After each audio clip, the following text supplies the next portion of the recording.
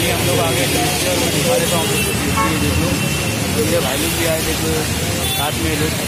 और अभी मैं आपको लेके आना हूँ पूरा बाज़ार चलिए पूरा बाज़ार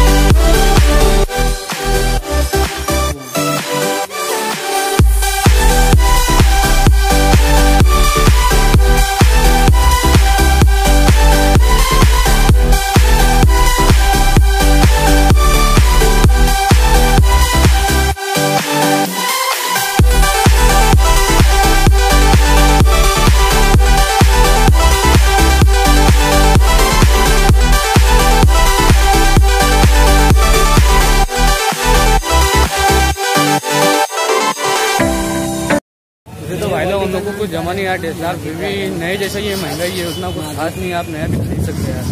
और खास नहीं है आप अच्छा अच्छा नया खरीद लो फिर।